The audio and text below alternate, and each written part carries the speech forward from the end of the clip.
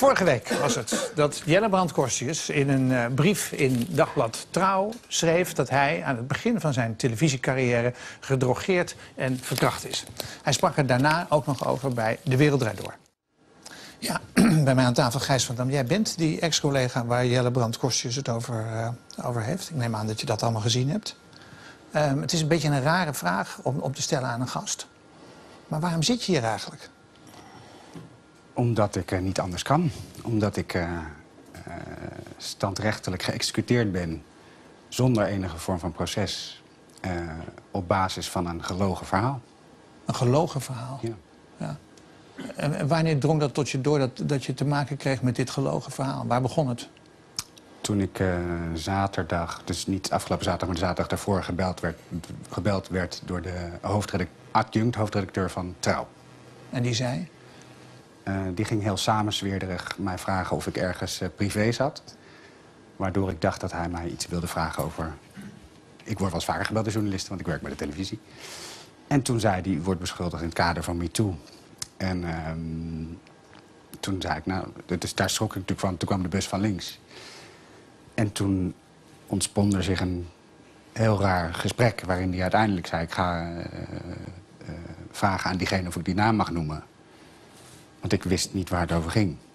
En toen zei hij die naam, toen zei ik alleen maar, maar dat was wederzijds. Want we hebben in een dronken bui in bed gelegen. Dat was het. Ja.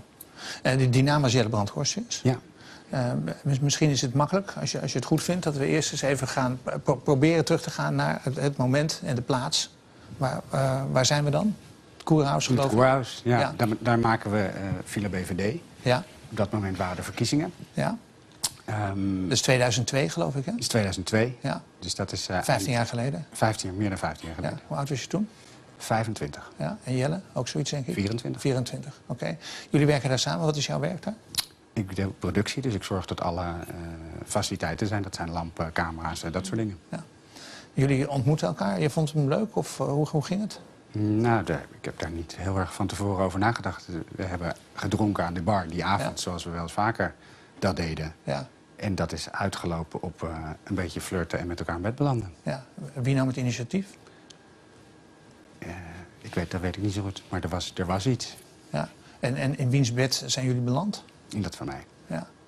En is, de, is daar ongeveer gebeurd wat Jelle Brandkostjes ook heeft, uh, heeft, heeft gezegd dat er is gebeurd? Nee. Er is, er is niemand verkracht, er is niemand gedwongen. Het is niet gebeurd. Nee.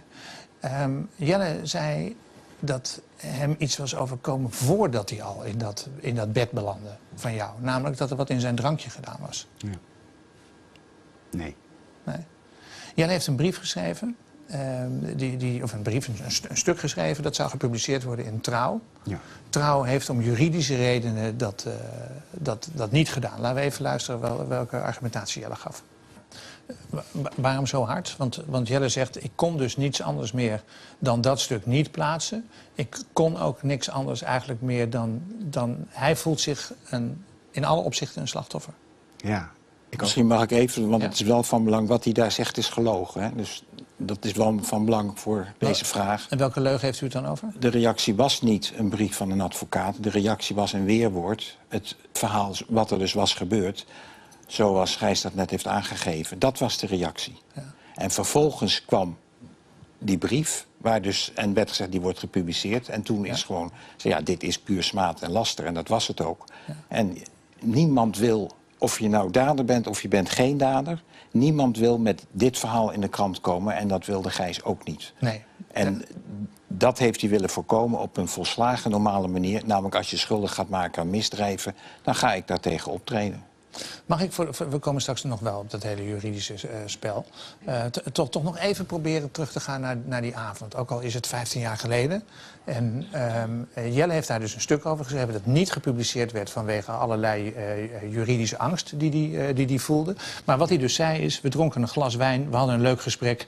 dan moet het moment geweest zijn dat hij iets in mijn drankje gooide. Niet gebeurd? Nee. Nee, nooit gebeurd? Nee. Dat soort dingen doe jij niet? Nee. We belanden op zijn hotelkamer. Bizar genoeg wilde hij me wat suskus en wiskus laten zien. Nee, nee geen idee. Ja, het, het kan. Maar ik nou ja, jongens, mannen van 4,25 met zusjes en wissers, het kan. Ja, lijkt me, sorry, nee. Goed. Ik moet toen al behoorlijk onder invloed zijn geweest, want ik vond het een volkomen normaal verzoek. Ik was er wel en tegelijk was ik er niet. Toen we op zijn bed zaten, begon hij mij te zoenen. We hebben gezoend, ja. Opnieuw liet ik dit allemaal gebeuren. Ik weet nog wel, ik dacht, hé, hey, wat gek, ik ben met een man aan het zoenen. Ik voel zijn baardharen. Hij dwong mij tot orale seks. Nee, we hebben seks gehad, maar er is niemand gedwongen. En eh, eh, toen dacht ik, dit is het punt eh, ehm, om, om weg te komen. Een helder moment. Ik was even bewust van mijn situatie. Op de een of andere manier ben ik toen de kamer uitgevlucht. Nee, ik weet niet van vluchten. We, we hebben seks gehad en ik denk dat hij dat misschien anders heeft beleefd dan ik. Dus daar kan ik me nog bij voorstellen dat ik er achteraf anders over na is gaan denken. Maar het was twee jongens in een dronken bui hebben seks. En de een gaat naar zijn eigen kamer om te slapen en de ander blijft in de andere kamer achter. Jullie, jullie werkten allebei bij- een programma, hè, het programma Barend en van Dorp. Dat, dat was toen vanwege de verkiezingen in een, speciaal, een speciale entourage en omgeving in, het, in het Koerhuis. Jelle was toen stagiair. Jij werkte eh, op, op de productie, zoals je zei, de, het regelen van... eh, Ja, dus je, je hebt een heel programmateam. Ja. Net- zoals hier. Dan, en da- daar is een redactie en een productie. En ik deed de productie. Dus ik zorgde dat alles, dat de glaasjes water op tafel stonden en de nootjes. En Hoe hebben jullie daar de volgende dag over gesproken? niet. Niet. Nee, En de dag daarna dan? ook niet. Daar is nooit meer over gesproken. Nee.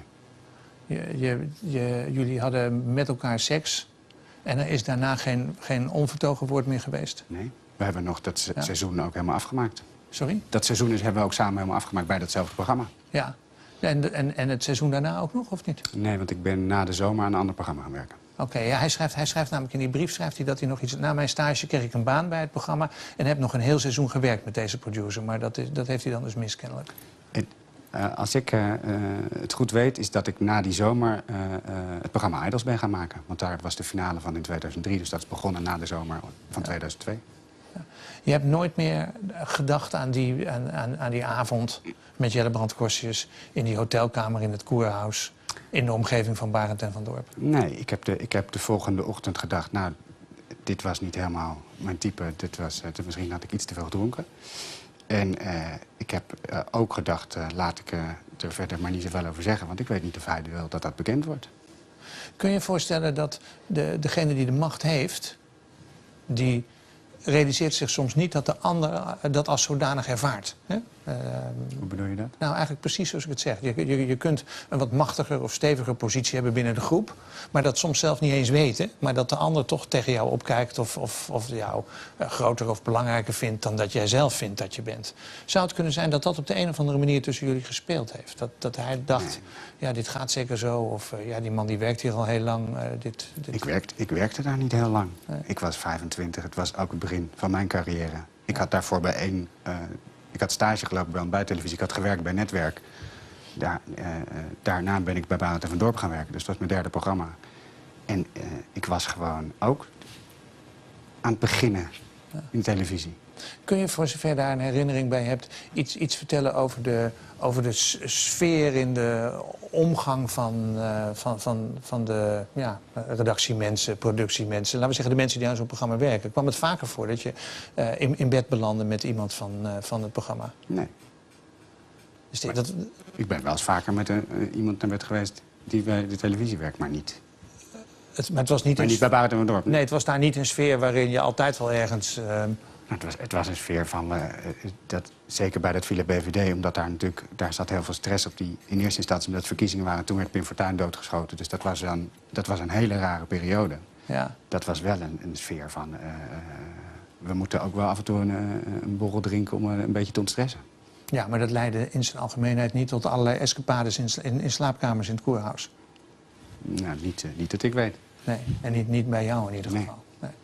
Ik zeg dat omdat Jelle verderop nog schrijft... nooit heb ik een seconde aan gedacht om dit te melden aan de eindredacteur... of aan de human resource manager of de presentatoren... laat staan om aangifte te doen bij de politie. Ik was een stagiair, ik stond helemaal aan het begin van mijn journalistieke carrière. Ik kon niet inschatten wat de gevolgen voor mij zouden zijn.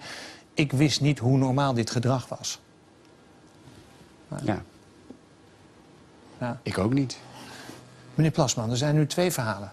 Er is iemand die zegt ik ben misbruikt, ik ben verkracht.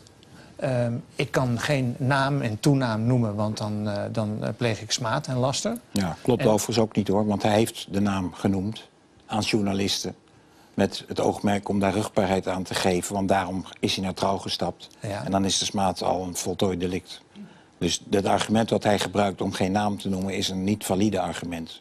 Omdat hij al wel in een beperkte kring die naam genoemd Ja, heeft. aan journalisten. Ja. Met, met de bedoeling om erover te gaan schrijven. Dus hij heeft dit verhaal over Gijs van Dam verteld aan journalisten van Trouw. Ja. En daarnaast is het natuurlijk niet, het gaat niet sec om de naam. Het gaat erom of degene over wie je dit vertelt... of die kenbaar kan worden op basis van details. Je kunt heel veel over een persoon vertellen en zijn naam weglaten. Daarmee ontkom je niet aan smaad en laster.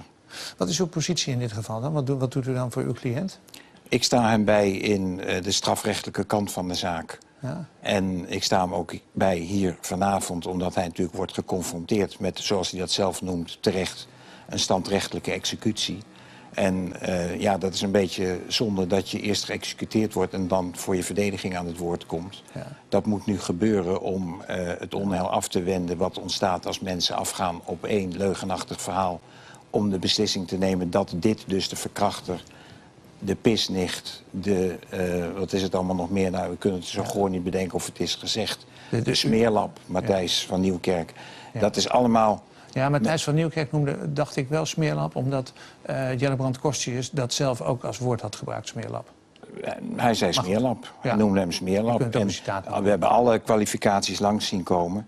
En wat ik vooral wil bereiken is dat we ons gaan realiseren... dat wij in Nederland iets met elkaar hebben afgesproken.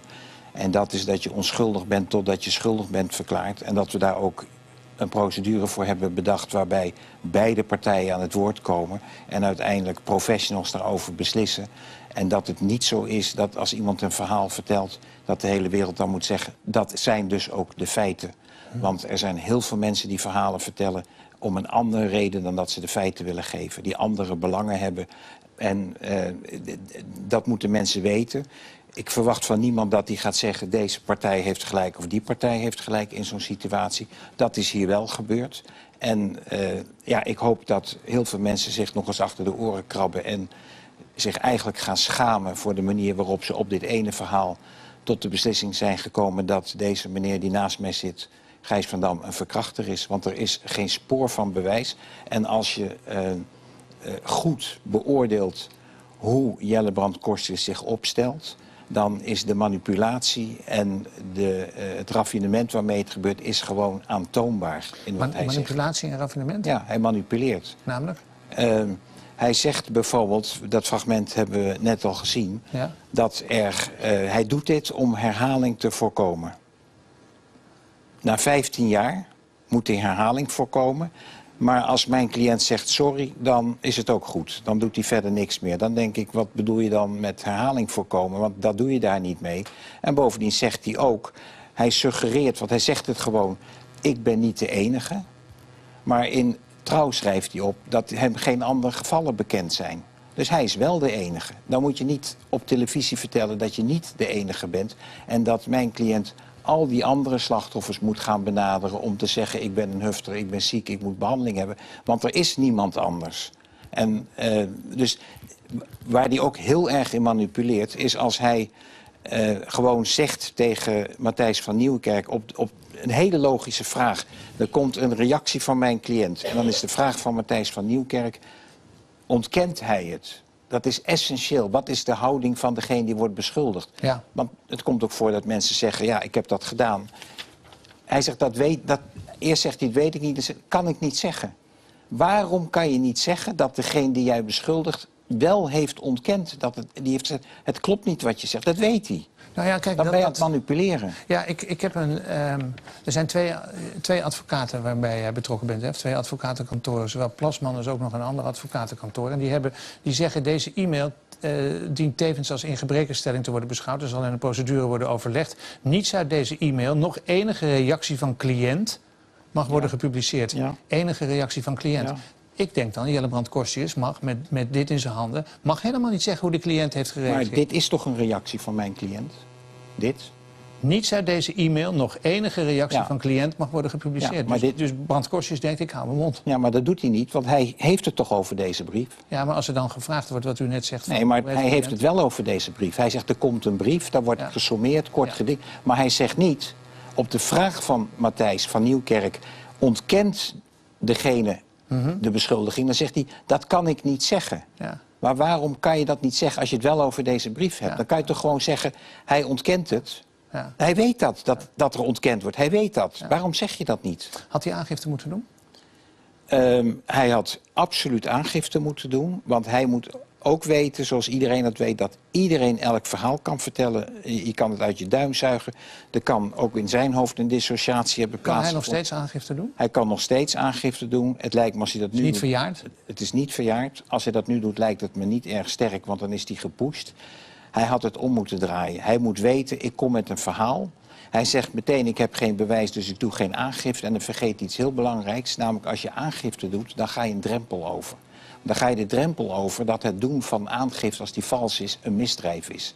Dus je- zet je stelling kracht bij als je begint met een aangifte. En dan, als je dat per se aan de grote klok moet hangen, vertelt ik heb aangifte gedaan, want dit en dit is er gebeurd. Maar hij vertelt vrijblijvend een verhaal. Hij weet, hij zegt het zelf.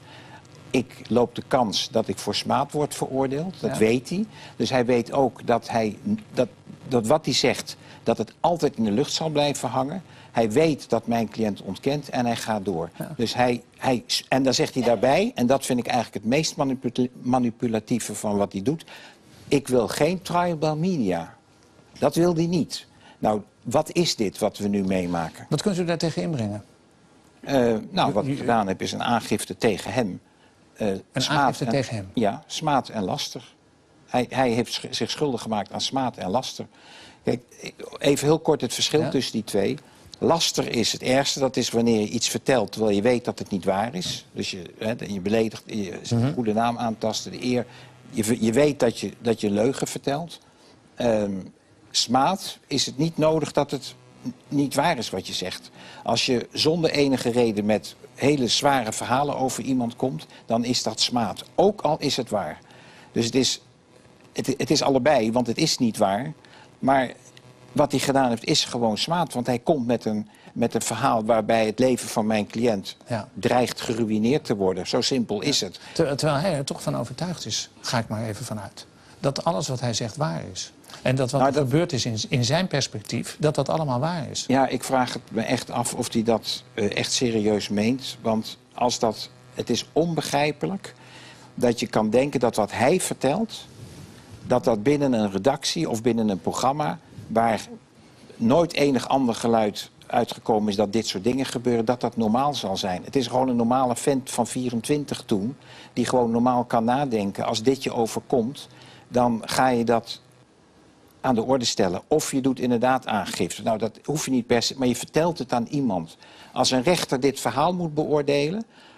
is het eerste wat hij doet, is steunbewijs zoeken. En dan is de vraag, heb je dit verhaal aan iemand verteld toen? Ik schaamde mij kapot, vond het gênant, wilde niet dat iemand het wist. Dat is wat hij ook schrijft in die, in die brief die niet gepubliceerd Ja. is. Goed, dat mag Dus daar wil je niet meer over hebben. We kennen allemaal misschien wel eens momenten dat we dachten... oeh, dat had ik niet moeten doen. Ja. Ga ik het niet over hebben. Als hij het er ook niet over heeft, is het niet gebeurd. Dat is zijn goed recht. Ja. Dat moet hij dan voor zichzelf weten, dat moet hij beslissen. Maar dan moet hij niet 15 jaar later komen met... ik kan allemaal niks bewijzen, maar ik ruïneer het leven van iemand met dit verhaal.